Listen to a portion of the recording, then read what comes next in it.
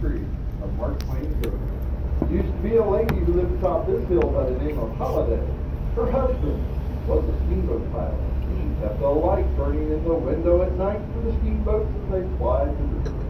Her husband was killed in a steamboat accident. Mark Twain wrote the adventures of Tom Sawyer and the adventures of Huckleberry Finn.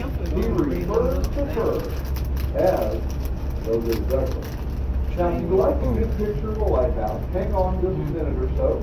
As we get upstream, you'll get a much better view. So go ahead and get those cell phones out, get the camera apps warmed up, and get your cameras ready. In about a minute, you'll get a much better view of the lighthouse. I'd like to tell you just a little bit about the boat that you're riding on.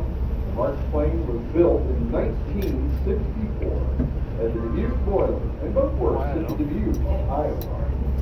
Christened the Huck Finn taken south to New Orleans, where it ran as an excursion boat for the Streckfus Steamers Company.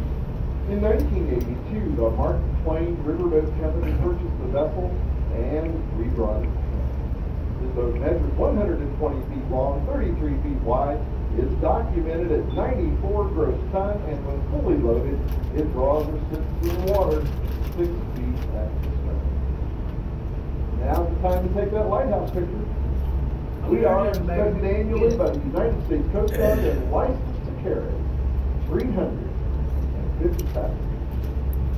Coming up on our left, we have the old concrete structure next to the water jet, and on the other side of the track, we see another concrete. These Okay. foundations, along with a Yeah. handful of family members, are all that remain of the storage, ice and coal Look, you can center. fish right here. They used to harvest ice on the river. They would come out on the ice with teams of horses. They'd thaw out huge blocks of ice, then it was towed back into these buildings where it was stored in straw and oh, all that That's how you had to and train reserved for the warmer Yeah. summer months ahead.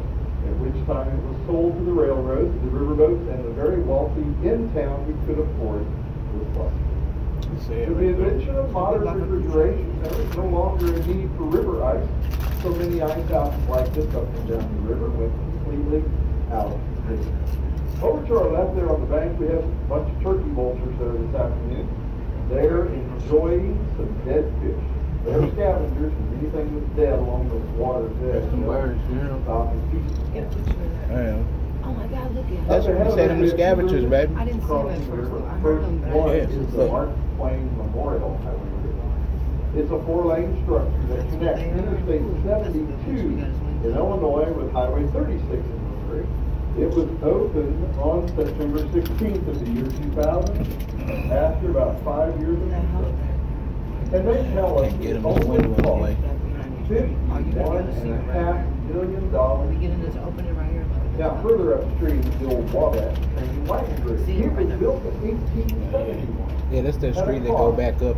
Where we parked at. And it is the second oldest structure to cross the upper Mississippi.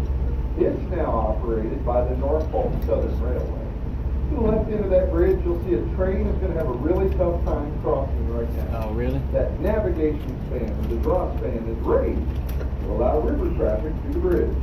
If the bridge is down and we walk through, we have to radio ahead of the bridge master, Mhm. and if there's no trains in the area, they will lift that span like you see it now. Wow, look. us to go underneath. I'm going to go up front, baby. Railroads have been given the right to Can't see everything. They're not allowed to impede river traffic.